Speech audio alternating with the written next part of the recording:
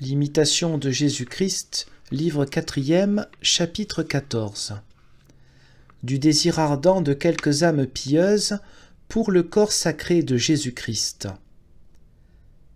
Le fidèle. Seigneur, ô quelle est grande l'abondance des douceurs que vous avez réservées pour ceux qui vous craignent. Psaume 30, verset 20. Quand je rappelle en ma mémoire, ô mon Dieu, avec quelle dévotion et quelle ardeur certaines personnes pieuses s'approchent de votre sacrement, je me confonds souvent en moi-même, et je rougis de m'approcher de votre autel et de votre sainte table avec un cœur si tiède et si froid.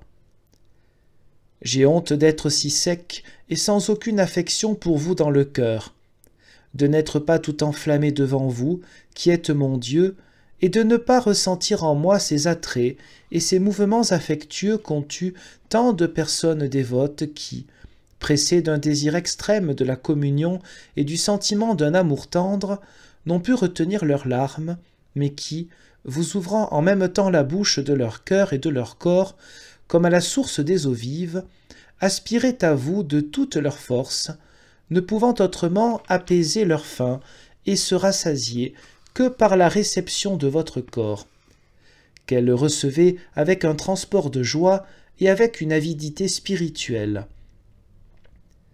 Oh, que leur foi était véritable et vive, qu'elle prouve bien la vérité de votre sainte présence, car ceux-là reconnaissent véritablement leur Seigneur dans la fraction du pain. Luc 24, 35, dont le cœur est si brûlant et si plein de Jésus qui marche avec eux. Je suis souvent bien éloigné d'une affection et d'une dévotion semblables, et d'une charité si ardente.